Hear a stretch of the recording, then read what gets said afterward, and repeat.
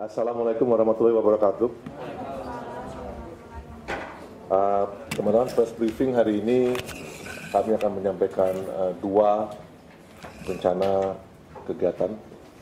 Yang pertama terkait dengan rencana kunjungan Presiden Korea Selatan uh, Moon Jae-in ke Indonesia yang menurut jadwal adalah tanggal 8 sampai tanggal 10 November dan akan diterima oleh Bapak Presiden uh, dalam rangka kunjungan kenegaraan ini pada tanggal 9 November di Bogor. Selain itu juga ada rencana kehadiran Bapak Presiden di KTT APEC Economic Leaders Meeting di Danang, Vietnam uh, yang menurut rencana akan dilaksanakan pada tanggal 10-11 November. Untuk itu hari ini ada bersama kami Bapak Edi Yusuf. Beliau adalah Direktur Asia Timur dan Pasifik dari Ditjen Aspasaf. Dan juga Bapak Benjamin Kanadi. Uh, beliau adalah Direktur Kerjasama Intrakawasan Asia Pasifik. Sebelum kami meminta Pak Edi Yusuf dan Pak uh, Ben Benjamin untuk menyampaikan isu terkait dengan isu detail mengenai kunjungan Presiden Korea Selatan dan juga APEC, uh, saya ingin menyampaikan sedikit terkait dengan latar belakang kunjungan uh, Presiden Korea.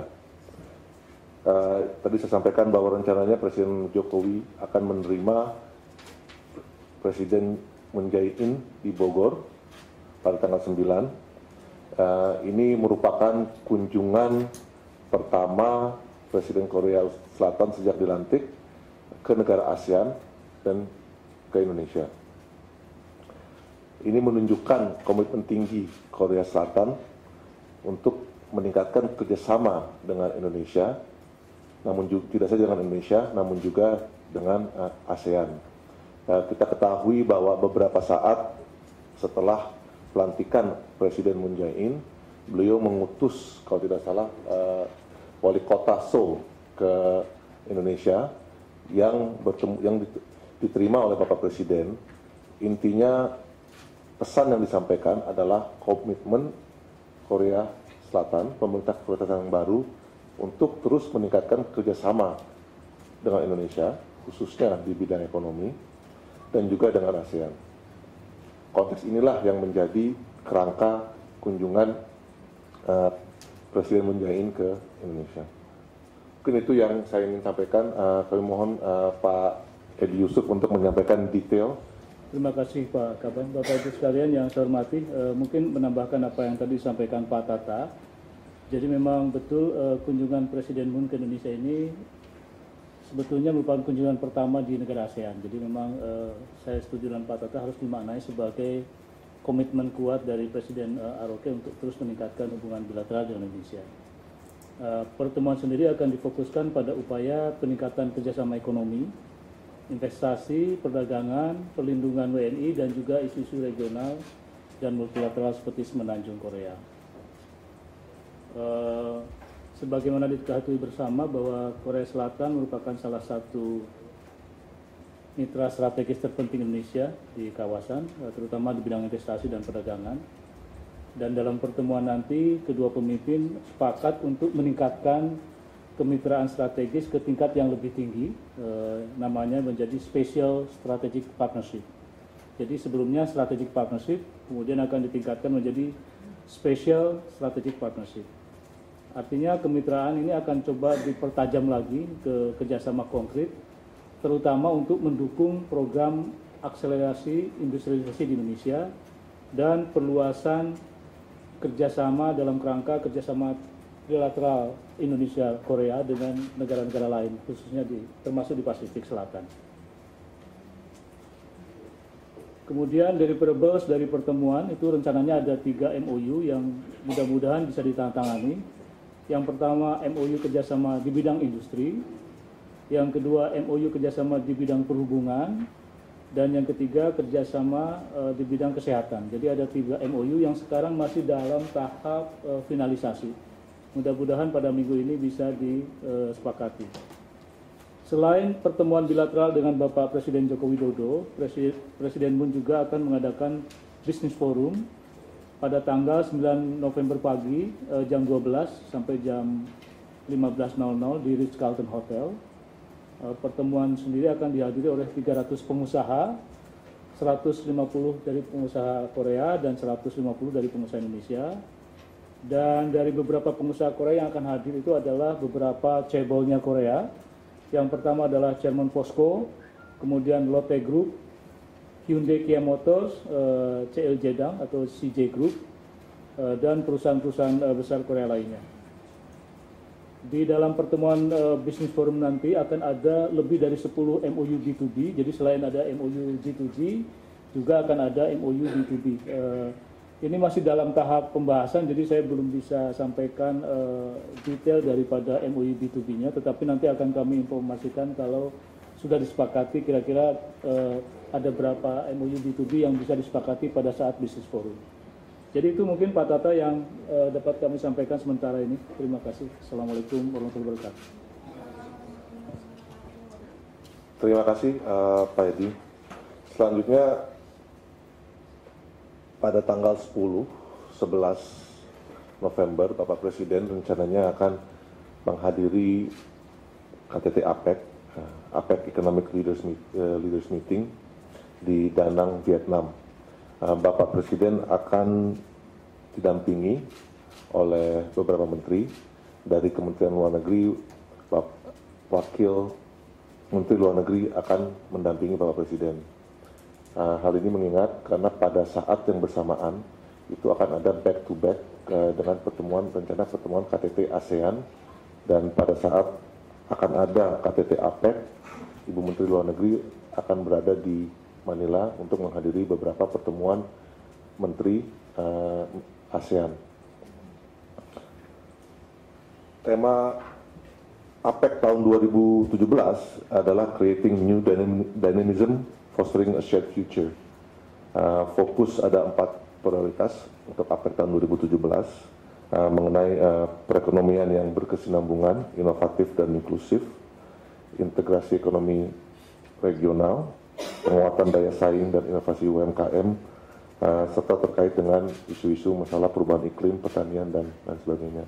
Untuk itu uh, kami mohon Pak Ben Kanadi uh, untuk menyampaikan isu-isu apa saja akan menjadi perhatian Indonesia dan outcome apa yang akan uh, dihasilkan dari KTT APEC ini.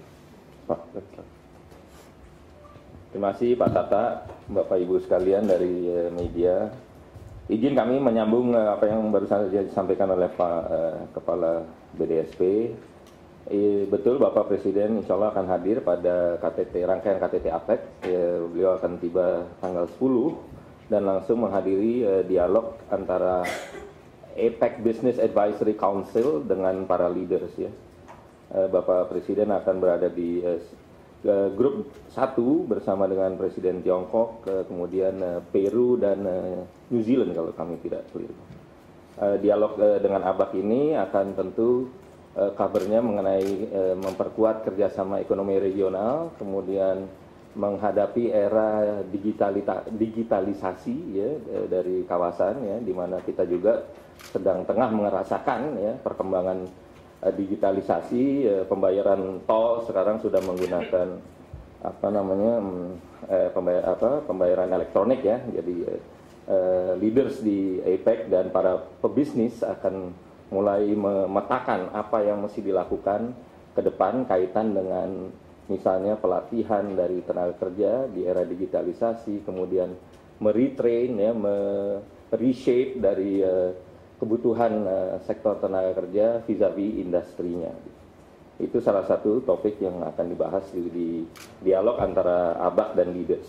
Selain itu sore harinya akan dilanjutkan dengan pertemuan informal antara ASEAN leaders dengan APEC leaders. Jadi memperingati 50 tahun uh, ASEAN eh, Vietnam selaku ketua APEC eh, menggagas suatu pertemuan sinergis antara eh, leaders dari APEC dengan ASEAN.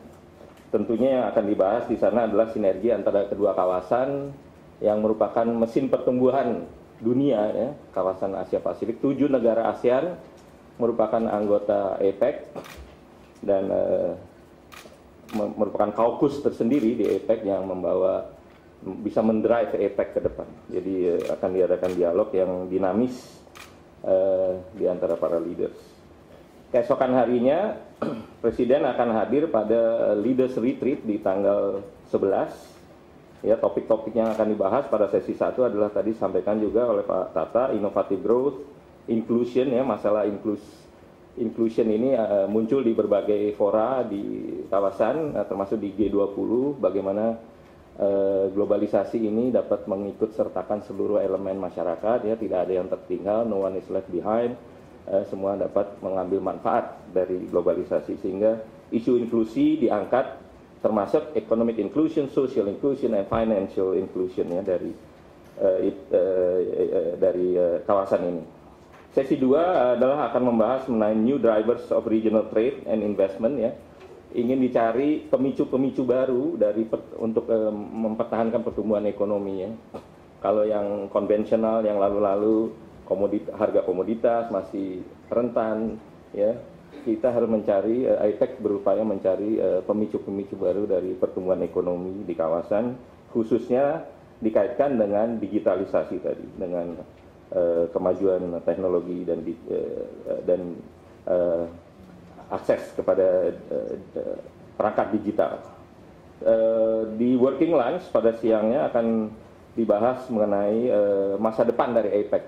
Sebagaimana diketahui uh, uh, Bogor Goals yang merupakan inti dari APEC ini telah akan berakhir di tahun 2020 sehingga leaders uh, sepakat untuk ingin membahas apa what what's next gitu ya setelah Bogor Goals utamanya dalam bidang-bidang uh, penguatan ekonomi integrasi ekonomi dan tentunya uh, menyelesaikan unfinished business ya hal-hal yang belum selesai tercapai di bawah Bogor Goals uh, ke depan akan dimajukan. Eh, kira-kira itu Pak inti yang kegiatan Bapak Presiden. Kepentingan Indonesia tentunya Bapak Presiden memiliki passion ya di bidang-bidang seperti pembangunan pedesaan ya, bagaimana Bapak Presiden memiliki program-program uh, pedesaan, kemudian kerjasama maritim, tol laut dan sebagainya, kerjasama konektivitas ya dan pemajuan UMKM yang berbasis digital. Kira-kira hal-hal itu yang akan disampaikan oleh Bapak Presiden. Terima kasih Pak Tata. Terima kasih uh, Pak Ben. Sebelum uh, saya buka untuk tanya jawab, uh, mungkin saya ingin menyampaikan satu informasi saja bahwa saat ini sebagai informasi awal untuk teman-teman, saat ini kita sedang mengatur rencana kunjungan kerja Menlu RI ke Kabul, uh, Afghanistan. Uh, kita sedang mencoba mencocokkan waktunya Uh, semoga ini bisa dapat terlaksana dalam waktu dekat. Apabila ini terlaksana, ini akan menjadi kunjungan Menteri Indonesia pertama ya ke Kabul. Karena sebelumnya memang pernah ada kunjungan uh, Menteri Subandrio ke Afghanistan pada tahun 61 saat mendampingi kunjungan kenegaraan Bapak uh, Presiden Soekarno. Itu uh, tujuan utamanya uh, ke sana tentu antara lain adalah untuk uh, menindaklanjuti hasil-hasil dari kunjungan Presiden Afghanistan yang ke Indonesia uh, pada awal tahun ini. Uh, beberapa isu di situ yang menjadi perhatian uh, antara lain terkait dengan kerjasama terorisme, uh, penanggulangan terorisme, kerjasama untuk uh, kejahatan menangani kejahatan uh, transnational crime, termasuk uh, perdagangan narkoba dan penyelundupan manusia. Uh, dan juga tentunya kita ingin mendorong agar proses rekonsiliasi dan perdamaian di Afghanistan dapat uh, juga tercapai. Mungkin beberapa itu hanya uh, sebagai informasi kepada teman-teman. Terima kasih. Apabila ada pertanyaan terkait dengan rencana kunjungan Presiden Korea atau terkait dengan rencana KTT APEC, silakan. Seperti biasa teman-teman mohon nama dan afiliasi. Uh, selamat pagi Bapak, uh, soalnya dari menurutimus.com untuk pertemuan Jokowi dengan Moon Jae-in sendiri apakah akan dibahas secara spesifik soal Korea Utara? Lalu untuk uh, kunjungan Pak Presiden ke Vietnam APEC uh, Donald Trump juga sudah confirm datang ke APEC apakah akan ada pertemuan de uh, Trump dengan Jokowi? Makasih. Terima kasih. Jadi memang isu semenanjung Korea uh, akan menjadi salah satu isu yang akan dibahas. Uh, jadi memang itu confirm. Karena itu juga merupakan isu yang sangat penting bagi Korea Selatan dan Indonesia. Terima kasih. Uh, se uh, sejauh ini untuk pertemuan bilateral dengan uh, Donald Trump belum terjadwal, belum ada.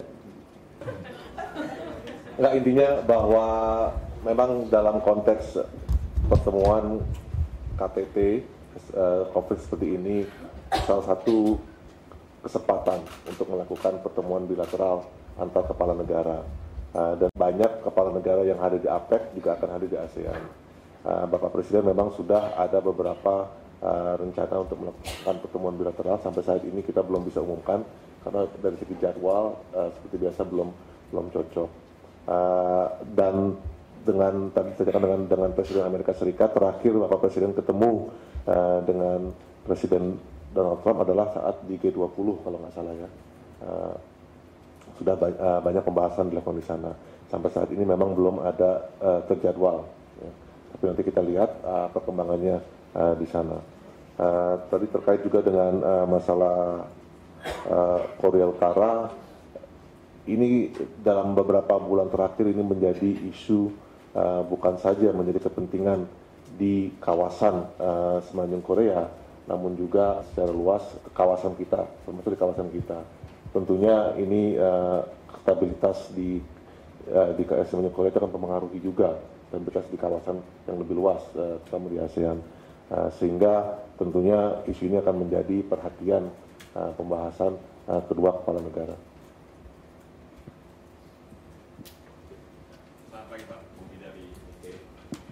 uh, pertanyaan terkait peningkatan uh, kerjasama dengan Korea Selatan menjadi Special Strategic Partnership.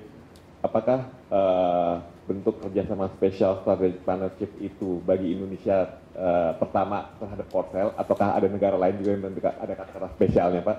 Pak boleh dijelaskan lebih rinci, walaupun tadi Bapak sudah menjelaskan bahwa Special Strategic Partnership ini ada peningkatan di sektor akselerasi industrialisasi. Boleh spesifik Pak, apa Pak maksudnya? Supaya kami bisa membedakan lebih detail bahwa perbedaannya spesial dengan tanpa spesial itu seperti apa Pak? Terima kasih. Baik, Pak Ubi. Jadi kata spesialnya memang eh, sepakatan antara kita dan Korea Selatan. Kita sebenarnya menggunakan kata apa istilahnya eh, kemitraan strategis 4.1 gitu. Tapi Korea memang memiliki kata spesial dengan India jadi itu kita sepakati. Tapi konten dari spesial uh, kemitraan itu sebetulnya uh, Korea sepakat untuk meningkat, membantu Indonesia meningkatkan industrialisasi, akselerasi industrialisasi Indonesia. Uh, kalau Bapak cermati kan sekarang uh, Posko sudah bekerjasama dengan Krakatau Steel untuk membangun 10 juta ton besi baja. Ini salah satu contoh. Kemudian kedua, Lotte Group kan sudah sepakat untuk membangun uh, petrochemical di, di, di, di Banten. Dan kalau Bapak cermati kan ada Hyundai Group Pak. Hyundai dan Kia. Jadi Hyundai dan Kia juga sudah menanya, menyatakan minatnya untuk untuk berpikir-pikir investasi di bidang otomotif. Tapi ini baru baru komitmen, tapi belum. Tapi intinya bahwa eh, perusahaan-perusahaan Korea juga sekarang mulai aktif di pembangunan infrastruktur LRT misalnya dan proyek-proyek infrastruktur yang lain. Jadi memang uh, arahnya ke situ Pak. Jadi akselerasi industrialisasi itu memang nyata dari pihak.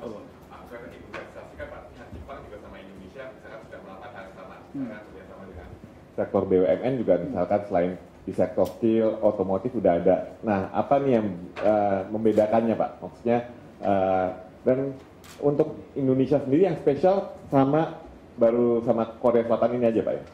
Mungkin uh, yang beda satunya lagi adalah terkait dengan struktur kerjasama. Jadi sekarang Korea me mengusulkan untuk ada pertemuan semacam 2 plus 2, tetapi di tingkat vice minister, bukan menteri di tingkat wakil menteri. Ini salah satu dari sisi strukturnya nambah, Kemudian juga kerjasama yang lain dalam kerangka regional. Jadi kita dengan Korea sepakat untuk mengadakan kerjasama triangular. Jadi Korea dan Indonesia sepakat mengadakan kerjasama dengan negara lain, misalnya bantuan capacity building ke negara-negara yang membutuhkan. Salah satunya misalnya Pasifik Selatan. Seperti itu anunya, eh, kenapa dikatakan spesial? Karena memang ada ada tambahan eh, jenis kerjasama yang dikembangkan. Terima kasih Pak Direktur. Mungkin tambahan aja bisa dibilang selain tambahan kerjasama intensitas kegiatan dan pertemuan tentunya akan akan meningkat di setiap di setiap, setiap level. Mungkin itu yang akan membedakan eh, dari eh, kerjasama sebelumnya.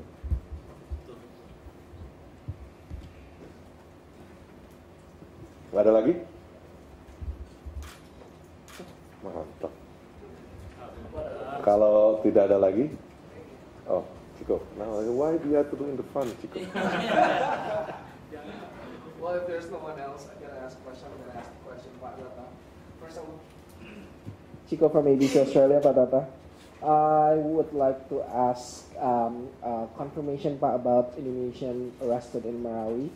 Um, uh, if you can confirm and probably give us more detailed explanation about about in, Indonesian arrested in Marawi, Pak. And then my second question would be, um, uh, uh, I know it's um, um, uh, uh, Indonesian or like many Indonesians are not registered in in um, as a you know obviously a foreign fighter spot. But um, if you have probably rough ideas of how how many um, Indonesian in Marawi and um, and any more information about it, thank you, Pak.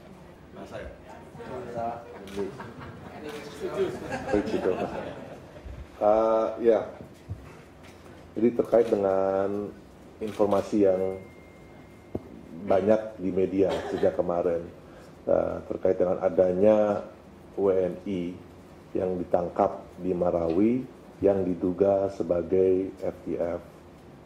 Uh, KJRI kita dan juga KBRI kita di Manila, KJRI di Davao dan KBRI kita di Manila begitu men- mendengar informasi ini di media, ya, saya tekan lagi di media, uh, mereka langsung mencoba meminta konfirmasi melalui kontak dan jalurnya mereka. Secara uh, mereka meminta agar segera, pertama segera diberikan notifikasi resmi sehingga notifikasi konsuler resmi sehingga kita bisa mendapatkan akses ke konsuleran untuk memverifikasi apakah benar orang yang ditangkap itu adalah WNI. Namun tidak ada dari pihak uh, Filipina yang bisa memberikan konfirmasi resmi. Jadi informasi yang diterima baik dari pihak kepolisian Filipina maupun tentang uh, AFP, mereka menyampaikan informasi informal bahwa ada yang mereka duga WNI ditangkap. Uh, pagi ini, pagi ini uh, kuasa usaha at interim uh, kedutaan Filipina di Jakarta juga dipanggil ke Kemlu. Uh, kita juga meminta konfirmasi uh, resmi, uh, namun hal yang sama disampaikan bahwa mereka pun tidak bisa, sa- belum bisa pada saat ini uh, memberikan informasi uh, resmi atau noti- consular notification. Uh, KBRI kita di Manila terus uh, meminta akses ke konsuleran dan notifikasi resmi agar kita bisa mengkonfirmasi. Karena teman-teman itu ada tahapnya, ya. Jadi tahapnya itu pertama adalah kita mendapatkan notifikasi konsuler bahwa ada WNI atau orang yang diduga WNI tangkap. Dari situ biasanya KJRI ataupun KBRI yang terdekat melakukan meminta akses ke konsuleran untuk melakukan verifikasi. Verifikasi itu dilakukan melalui interview maupun dicek data-datanya terkait dengan data perjalanan mereka. Dalam hal ini mungkin paspor atau lain sebagainya. Kita ngecek apa keasliannya dan lain sebagainya. Dari situ baru kita KBRI bisa uh, mengambil keputusan bahwa ini benar atau tidak seorang WNI. Nah, pada saat ini kita belum sampai pada tahap itu. Jadi informasi yang beredar uh, itu disampaikan oleh otoritas uh, Filipina, namun kita belum bisa mengkonfirmasi karena karena kita belum mendapatkan notifikasi kekonsuleran dan kita belum mendapatkan akses kekonsuleran untuk bisa melakukan verifikasi tersebut. Uh, sebagai informasi kepada teman-teman, uh, orang nama orang yang disampaikan oleh yang beredar di media kemarin uh, itu pada bulan April lalu pemerintah Filipina juga menyampaikan ditemukan paspor atas nama orang tersebut. Uh, kita meminta paspor tersebut sampai saat ini belum kita terima untuk memverifikasi apakah paspor itu asli atau tidak. Pihak Filipina juga menyampaikan bahwa yang bersangkutan nama orang yang di paspor tersebut diduga meninggal di dalam perperangan di Marawi. KJRI Davao mencoba memverifikasi apakah benar ada jenazah atas nama orang tersebut, namun tidak didapatkan. Jadi itu statusnya ya, uh, terkait uh, nama orang yang disebut-sebut kemarin ditangkap dan juga uh, bahwa ini merupakan paspor yang pernah disampaikan ditemukan oleh pihak uh, Filipina pada bulan April kalau tidak salah uh, awal tahun ini. Ya. Terima kasih.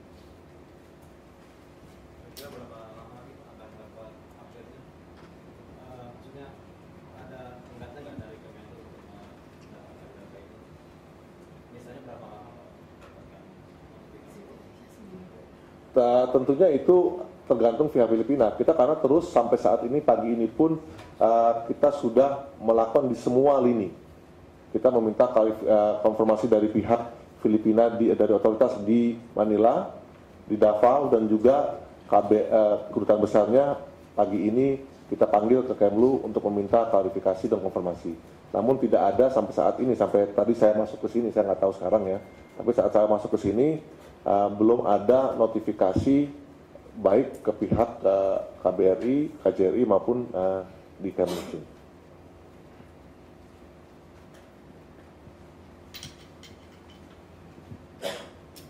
Pak Tata, saya Chani dari Channel News Asia.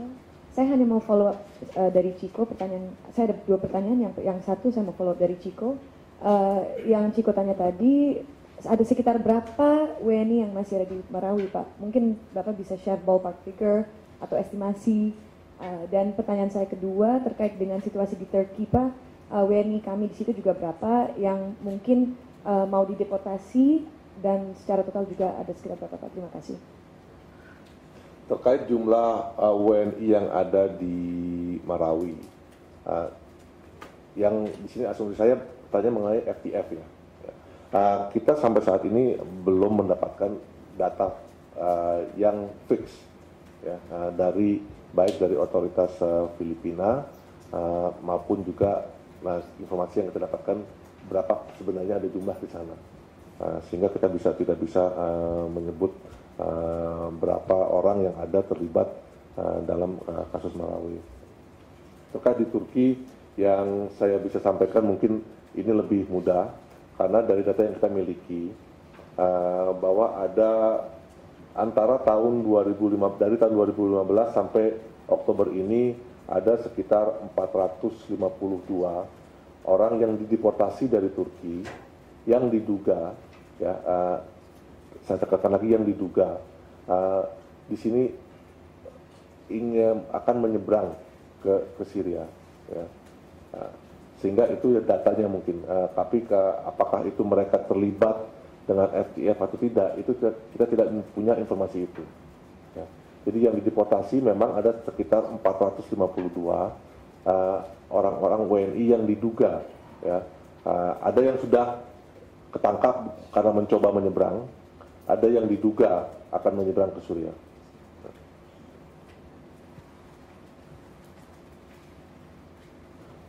Oke, okay, kalau tidak ada lagi, uh, saya ingin mengucapkan terima kasih banyak kepada Pak Edi Yusuf dan kepada uh, Pak Benjamin Kenardi. Uh, sampai kita ketemu teman-teman uh, minggu depan untuk press briefing uh, berikutnya. Terima kasih. Assalamualaikum warahmatullahi wabarakatuh.